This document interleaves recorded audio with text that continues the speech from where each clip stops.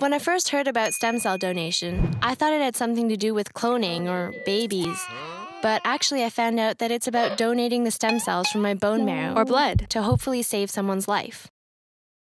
It's up to us to make a difference and to change things around now. Um, there are so many patients waiting for a match, and the more people who register, the bigger chance they have of surviving.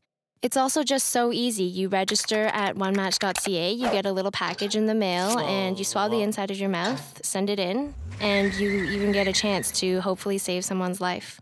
Oh, Chinese patients have only a 10% chance of finding a donor. If you are a Chinese Canadian between the ages of 17 and 35, please register with One Match, the Canadian Stem Cell and Marrow Network. Be the one to help save a life. Visit us at ChineseStemCell.ca.